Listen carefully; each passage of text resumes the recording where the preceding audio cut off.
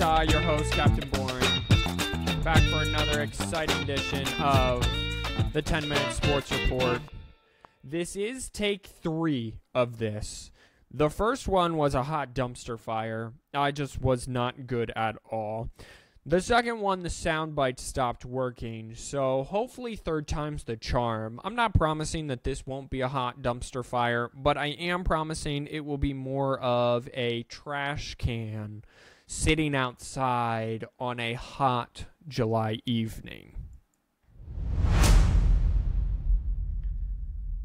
Let's go back to Friday, shall we? The Los Angeles Lakers closed out the Memphis Grizzlies, winning that series four games to two with a 40 point win in game six, 125 85. The leading scorer for the Los Angeles Lakers was D'Angelo Russell. He had a new career high with 31 points. The Memphis Grizzlies will take on a team that I'm kind of covering later in the sports report. So just hang on there. I don't want to spoil anything for anyone.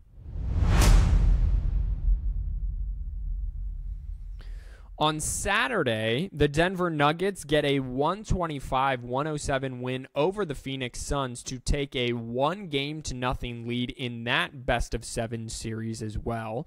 Jamal Murray erupted for 34 points and 9 assists. Kevin Durant on Phoenix side had 29 points and 14 rebounds, but it was way not enough to keep up with the Denver Nuggets. Game two will be on Monday.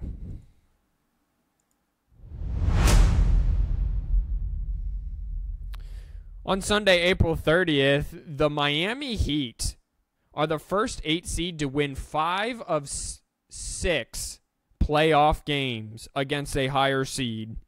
They win 108 101 to take a one game to nothing lead in a best of seven against the New York Knicks. Jimmy Butler had 25 points and 11 rebounds. However, it should be noted that he did turn his ankle halfway through that game and really was more of a stand in the corner player for that half. So his availability for the rest of this series is kind of on ice right now until we hear more. I will give that to you as soon as I find out.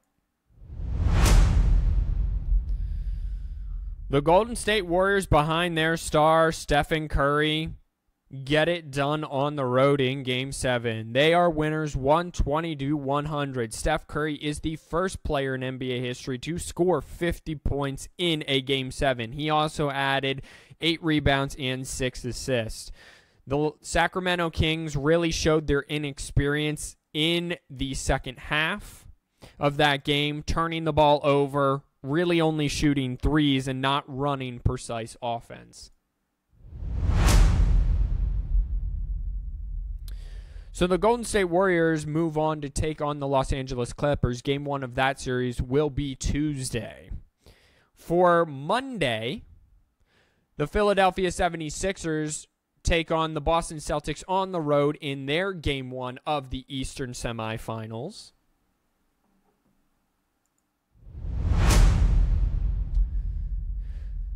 The Phoenix Suns try to steal a game on the road as game two in Denver against the Nuggets. The Suns badly want to avoid a two to nothing hole going down to the one seed Denver Nuggets.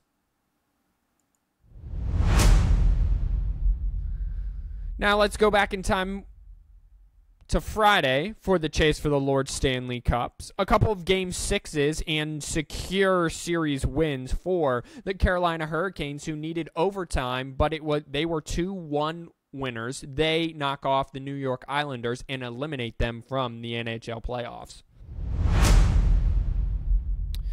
The Dallas Stars use a two-goal second period on Friday to knock off the Minnesota Wild 4 to 1 and they win that series 4 to 2 as well.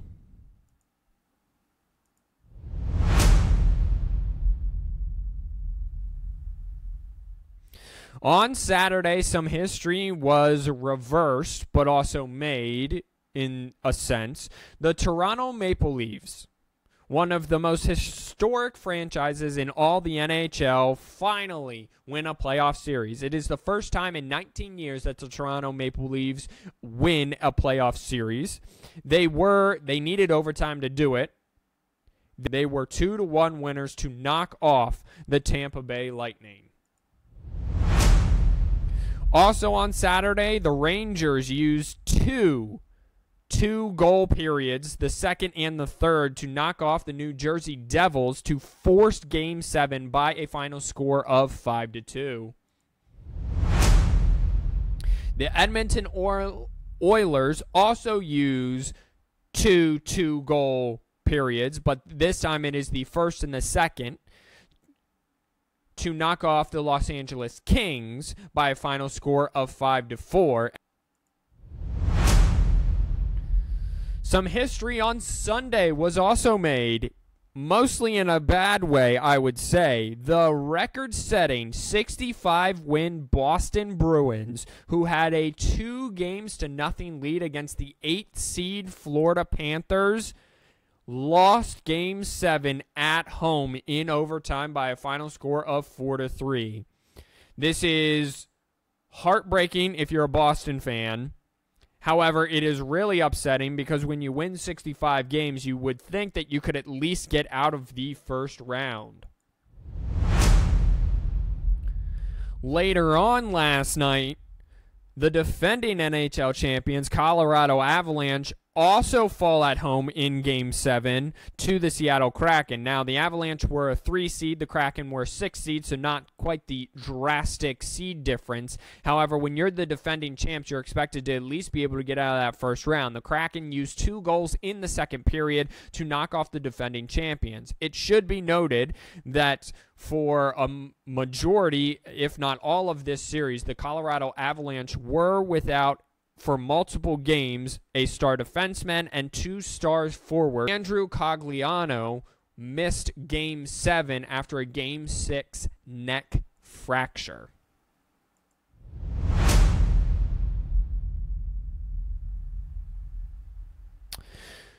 The XFL over the weekend set up its championship games. The Dallas Renegades knock off the Houston Roughnecks by a final score of 26 to 11. They will take on the DC Defenders who just absolutely mollywopped the Seattle Sea Dragons by a final score of 37 to 21. It should be noted that the Dallas Renegades are below 500 by a final score of 6 to 4. However, the South Division division was so bad that they got into the playoffs even though they had a losing record.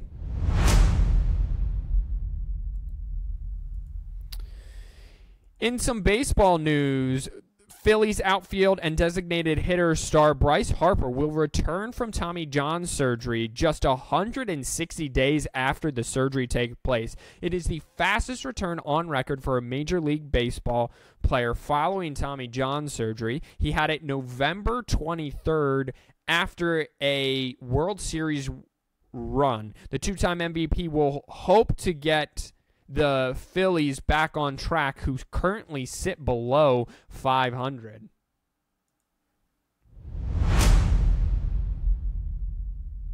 If you're a NASCAR fan, which I don't think anyone who listens to this is, but I'll mention it anyway, the Dove, the race at Dover got rescheduled, got rained out and got rescheduled to Monday, May 1st, and that will take place today.